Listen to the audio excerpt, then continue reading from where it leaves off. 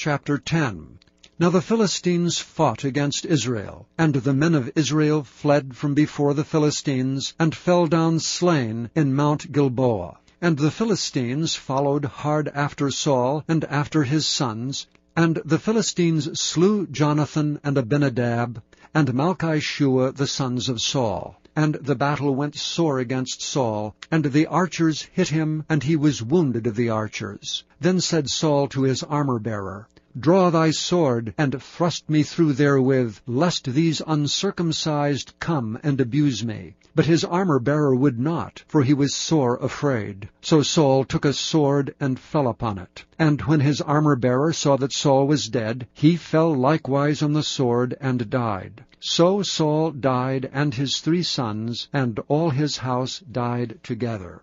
And when all the men of Israel that were in the valley saw that they fled, and that Saul and his sons were dead, then they forsook their cities and fled. And the Philistines came and dwelt in them. And it came to pass on the morrow, when the Philistines came to strip the slain, that they found Saul and his sons fallen in Mount Gilboa.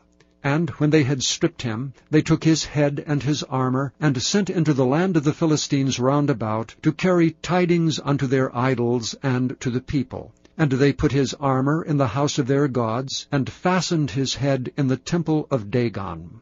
And when all Jabesh Gilead heard all that the Philistines had done to Saul, they arose, all the valiant men, and took away the body of Saul, and the bodies of his sons, and brought them to Jabesh, and buried their bones under the oak of Jabesh, and fasted seven days. So Saul died for his transgression, which he committed against the Lord, even against the word of the Lord, which he kept not, and also for asking counsel of one that had a familiar spirit to inquire of it, and inquired not of the Lord. Therefore he slew him, and turned the kingdom unto David, the son of Jesse.